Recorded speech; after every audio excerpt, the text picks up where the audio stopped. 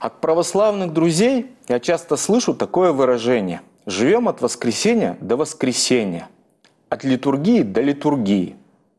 Встреча с Богом для верующих – это всегда радость.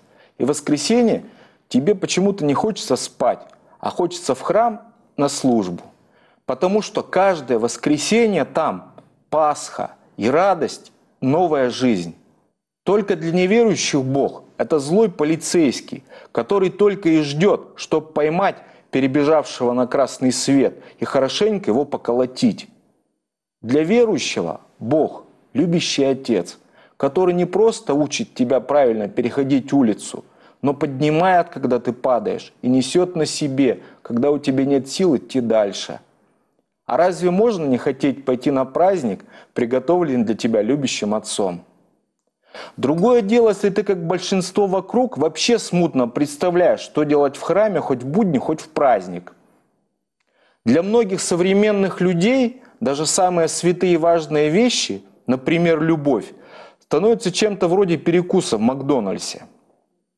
Раньше любви посвящали сонеты, писали поэмы, жертвовали жизнью, могли запросто трою сжечь. А сейчас прекрасный принц говорит незнакомке – «Привет, я классный, поехали к тебе». Люди прошлого слушали и наслаждались операми и симфониями, а сейчас слушают и обсуждают рингтоны. Человека воспитан на рингтонах, ужасает Толстой и Пушкин, смущает Монна Лиза и усыпляет литургия.